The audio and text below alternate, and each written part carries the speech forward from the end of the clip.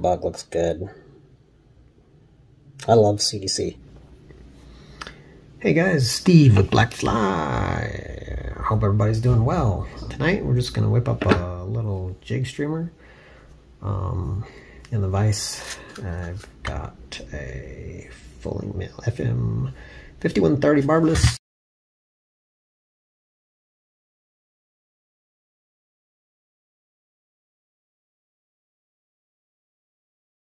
Bead, uh, 3/8 slotted tungsten thread, 72 denier, rust brown, good color. Get our thread ready and build up just a little down just to kind of hold that bead in place. Not a big one.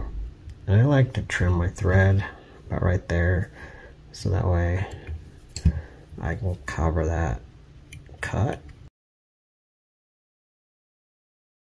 Advanced thread back to about that point. We're going to take some pheasant tail fibers. So I'm going to take about six or seven of these fibers. We'll just tear, tear those off. So I want the tail about to stick out about half the length of the hook shank. So, you know, I'll line it up like this and then just, but whatever you guys want to do. This is just how I tie this fly. And I'm just to hold those fibers on top, line back not all the way to back. I want I want that tail kind of bushy. Well, that's good. I'm gonna go ahead and cut it so that way it's behind the bead. Just finish tying that in, and then we'll bring our thread back. About right there. Okay, so next I've got some uh, black ultra wires UTC in the brassy and I don't like to waste material so if, the way I measure my wire if I'm depending on how thick the body is going to be is I know I need about three links like three links of the hook length so one that'd be two approximately. Three that's so that I can hold on to it without using hackle pliers. Cheapo junk pliers and just cut that wire off. And I'm gonna just insert that wire into the top of that bead. Go ahead and wrap it forward. And then wrap it back and build just a little bit of a taper up.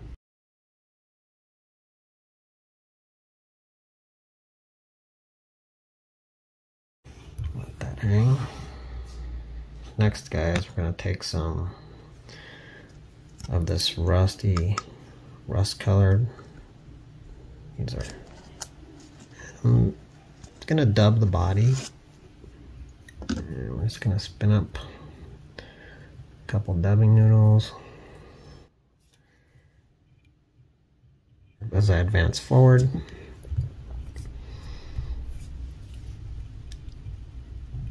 I'm gonna stop and leave some space just behind the eye. Uh, hang this on the cradle. And we're going to take our wire and I'm going to counter wrap this using the rotary on the vise. Oops, sorry guys, my fingers were in the way. So just that creates a nice segmented body. Get the cradle out of the way and back tie or wire off, a couple ties in front, uh, spin it off, helicopter it, whatever you want to call it. And we didn't make, waste much wire. Okay, so next guys, we've got some ginger CDC. One of my favorite and a lot of fly tires favorite uh, hackle materials. We're going to take, I got two feathers. I'm going to hold the tips of these feathers. Make sure I'm in frame. I'm, I'm going to take, take and preen the fob. Oh, wait a second. I will shangle that out. Okay, let's do that again. So I line up the stems. I'll grab the tips And gently, I'm going to pull these fibers down. And I'm going to reline up the stems. Then I'm going to take my little clamp here and I'm going to pinch as many of those long fibers as I can, like so. Hopefully you guys can see that just now. So then I grab my long Loon, fine point scissors, and I'm going to trim one side of this, just like so.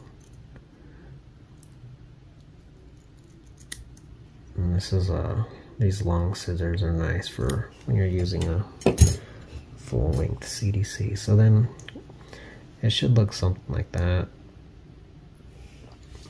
Okay, so next we're just gonna create a dubbing uh, loop.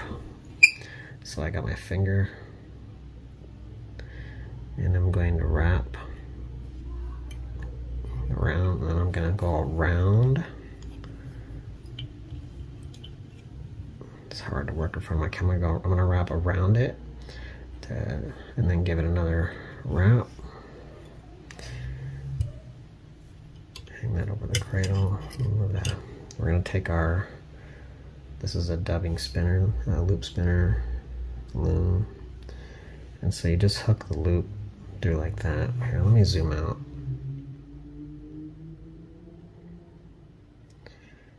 And so should look something like that if you guys can see that.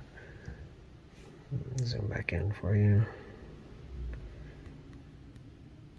And so then we're just going to take our CDC feathers and we're just going to insert the clamp And then we're going to take our finger out and we're going to pull. So it's like that. I'm just keeping tension on it. Now, let me zoom out again. Show you what I'm doing here. Okay, so next, put my finger here, and then I'm just gonna spin, spin this. just trap all those. If you push your finger up, it'll spin a little more.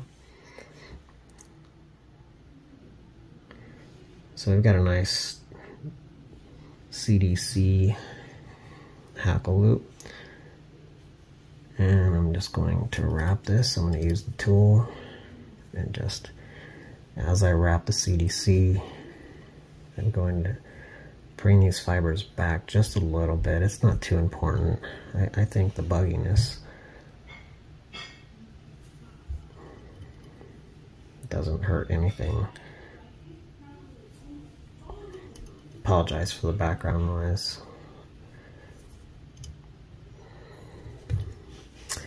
So we're just going to take our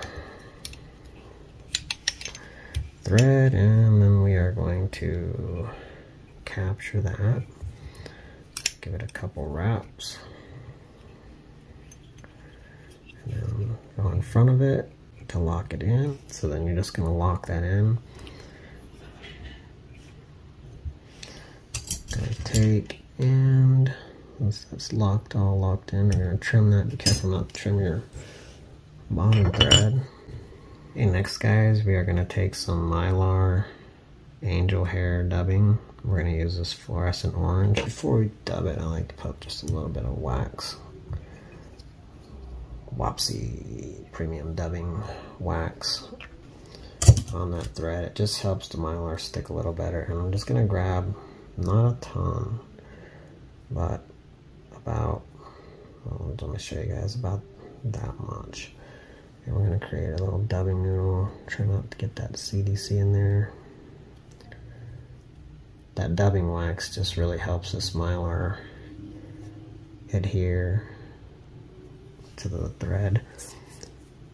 Now I'm just gonna moisten my fingers a little bit and I'm going to bring those fibers back and give this just a couple wraps. That's that's good. Break off the rest of this. grab our little whip finish tool and to whip finish what you want to do is so you hook your thread like this.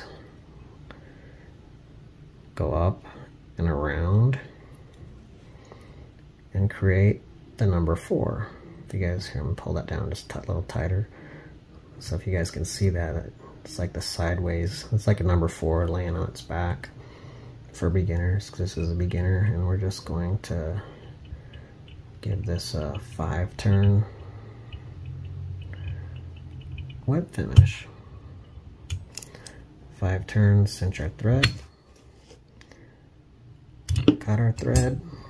Here's, but I'm just using my fine point scissors here to get some of these stragglers out of the way.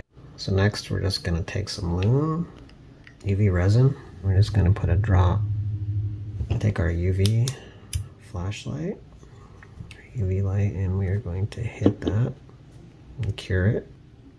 And last, I'm just going to take and push the CDC back and make sure it's not, I don't want the CDC to protrude past the tail, so I'll just go in here and just pick some of these fiber, longer fibers off.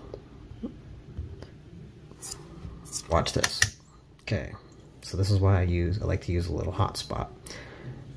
Flies floating down the river. Oh, sun pops out. Boom. See that collar light up? So it's going to attract those trout. Okay, now time for the water test. Let's see what it looks like. Okay, well, before the water test, look at this mess, guys. This is my tying desk. My trash, my flat tying materials are in all these drawers. Got more over there and some stuff up there. Any suggestions from you guys on organizing? I'd like a place to put my thread right in front of me, in front of my vise. Um, but any suggestions on how I could organize this better? I'd appreciate if you guys would comment. Um, some fly tying desk options, ideas. I also need to get a pad. I need a nice tying pad. I've been using these felt pads forever. But anyways, yeah, comment down below like what you guys recommend I do for organization. Tied the fly on my wire here because it's from Vice right into my wife's china. Okay, here goes the underwater test. Watch how the CDC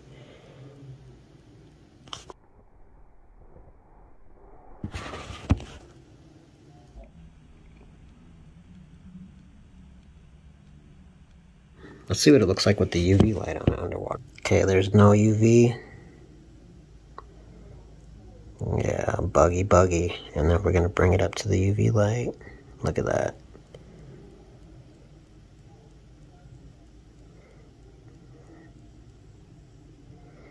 Pretty cool. Man, that bug looks good.